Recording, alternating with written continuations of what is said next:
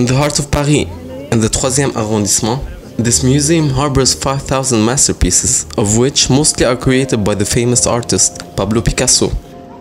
In his hometown, Malaga, his passion for art was born and grew with him. Let's try to understand this genius through his art. At the age of 13, he began turning fashion photographs into grotesque images by drawing a few lines on them. For example, this issue of Vogue dating back to May 1951. Picasso took his art into a whole new direction in autumn 1906. He radically simplified forms and in close collaboration with the French painter Georges Braque, developed the new style of Cubism. The death of his friend Carlos Casagemas pushed Pablo to develop a new melancholic style of painting, using a palette entirely in shades of blue. Visiting Medrano Circus revived Picasso's interest in the theater arts.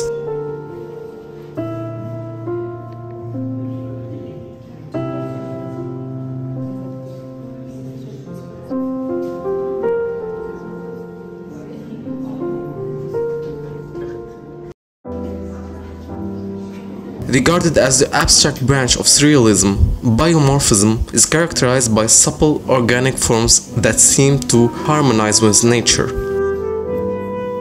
After the Cubist period, the years 1918 to 23 are often described as classicizing, marked by a return to constructed figuration.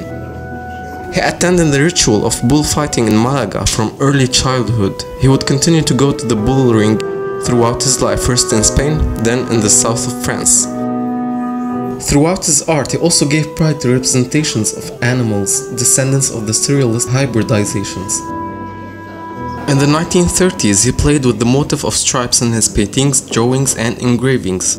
When other artists valued the African and Oceanian objects for their radical aesthetic, Pablo was fascinated by their magical aspect and the ability to action the world around them. We end up our visit with Robert Doisneau's photographs taken that September morning in 1952. I hope you liked this short visit and until next time.